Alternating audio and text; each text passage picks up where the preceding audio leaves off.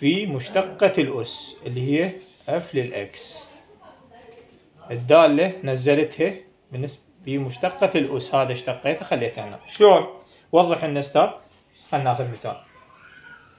y يساوي لنا e أس سالب خمسة x تربيع زائدا ثلاثة x زائدا خمسة. تمام؟ هاي هي الدالة.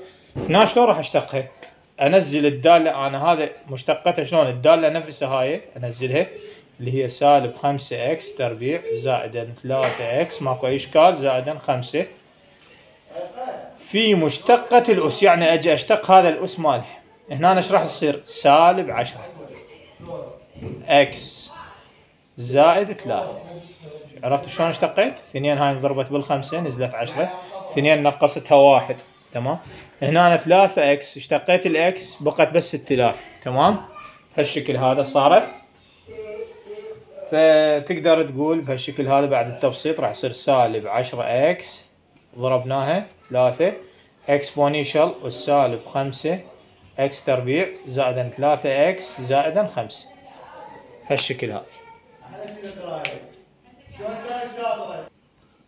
هسه بالمثال الثاني راح تصير أوضح.